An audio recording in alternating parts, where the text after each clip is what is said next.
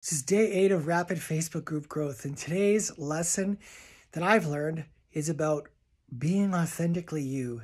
So for me, it's learning to ring my authentic bell so that those that need to find me hear my sound loud and clear. And those that don't like the sound of what I'm ringing, that's fine. They go and find the sounds that they need to follow to be authentically them in life.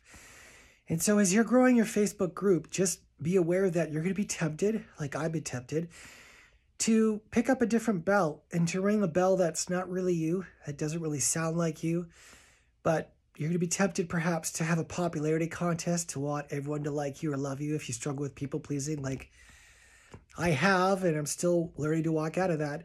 But the more you just be authentically you and ring your unique bell, the people that need to hear you are going to find you, and you're going to repel those. I know it's not personal, but you're going to repel those that they don't like the sound of your bell. They don't like the sound of my bell. That's okay.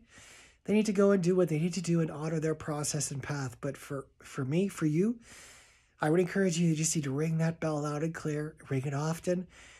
And for the people that want and need to find you, they're going to find the sound of that bell so sweet. It's going to be music to their ears. They're going to come in droves because they want what you carry. Because the ringing of your bell will, will remind them two things. It will remind them that they have a bell of theirs to ring, and or will remind them that they're part of a bigger orchestra or musical. It reminds them that they all we all have a part to play. So it's very important for you to ring your bell loud and clear. I want to hear it, regardless if we end up walking together long term or not.